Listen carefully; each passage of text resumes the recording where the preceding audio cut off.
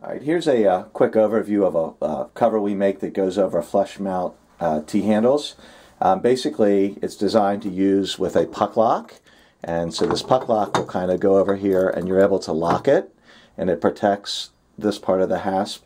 Um, in the event you're an existing vending or amusement operator and you have locks like this, they will work. However, um, it's not recommended unless you just absolutely want to use locks because they're key to like or you have these paid for. But it's designed for puck lock. You can use these.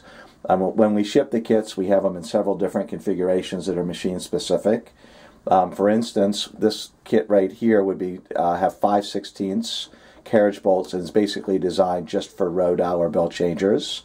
Um, the more common configuration is it'll be supplied with 3 8 inch carriage bolts, washers, and nuts and um, because we can use the bigger uh, carriage bolts on most machines, we prefer to do that. Um, so it is very much machine specific. Um, in the event that um, you, are not happy with the washers we supply and there's room in your machine, um, you can buy like bigger, what I call fender washers at a hardware store. Um, these will kind of cover more of your machine. These are not included with the kit. just because they, they won't always fit, but just an option in case you're very concerned about security.